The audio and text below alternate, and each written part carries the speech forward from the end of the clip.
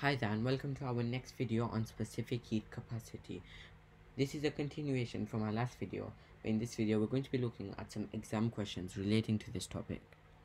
So question 1 says Dave experiments heating different materials.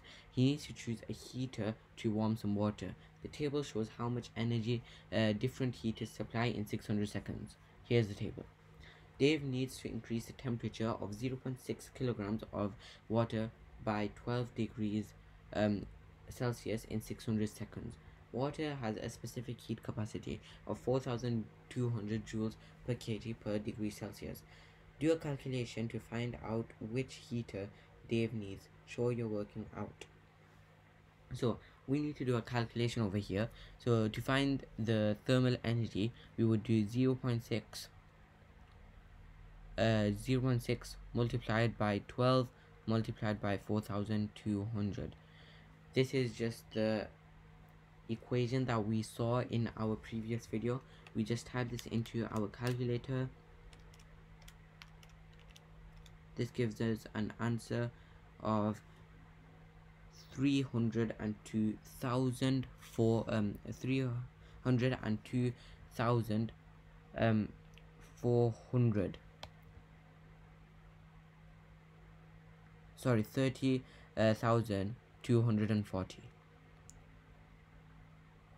30,240 so which heater would we need? We would need heater E because this number over here is closest to this number over here.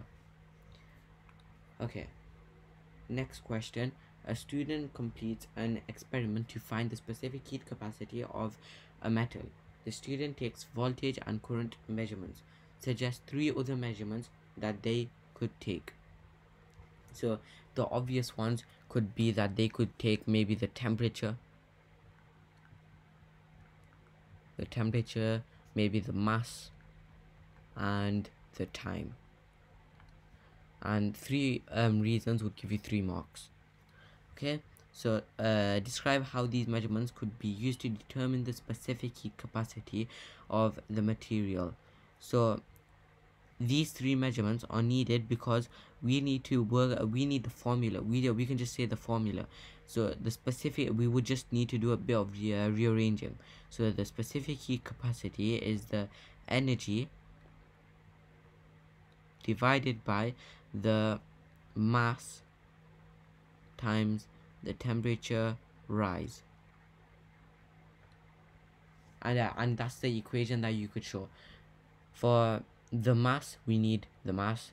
The temperature we need the temperature. And to work out the rise we need the time. So explaining that in that formula would give you two marks.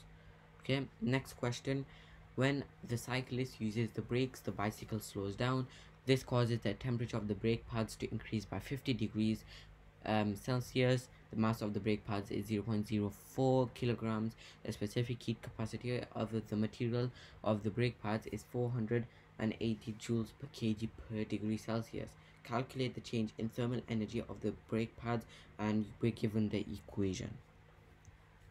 So the mass we're given is 0.04 which is in kilograms 0.04 multiplied by the specific heat capacity over here 480 joules per kg and then we're given the temperature change as well which is 50 degrees. Now we have our full um, equation. We can type that into the calculator. 0 0.04 multiplied by 480 multiplied by 50 this would give us 960 joules. Next question the mass of water in each cup is 200 grams. Calculate the energy in joules transferred from the water in a cup when the temperature of the water falls by 8 degrees C. So the specific heat capacity is 4200 joules. Okay, so the mass is in grams, so we need to convert this. It would be 0 0.2 kilograms multiplied by the specific heat capacity, which is 4200 joules multiplied by the temperature change which is 8 degrees C. Okay So let's type this into our calculator. 0.2 multiplied by 4200 multiplied by 8 this would give us an answer of 6720 joules we can convert that but you don't need to. 6.72 kilojoules. Next question.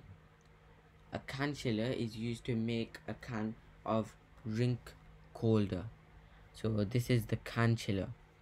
The can chiller decreases the temperature of the liquid um, in the can by 15 degrees. The mass of the liquid is 0.33 kilograms. The specific heat capacity is 4200 joules. Calculate the energy transferred. So let's um, do it. So we have the mass 0.33 0.33 multiplied by the specific heat capacity 4200 multiplied by uh, the change in temperature which is 15 so we have 0 0.33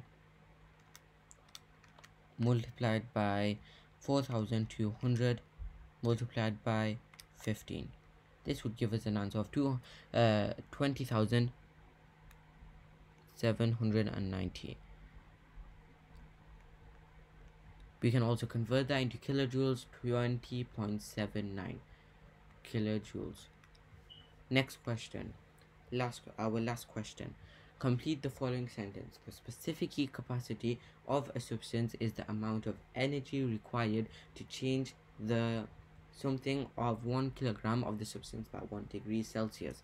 So this would be temperature this is asking simply for the definition of specific heat capacity next part c to calculate the specific heat capacity of a material, the mass of the material needs to be measured.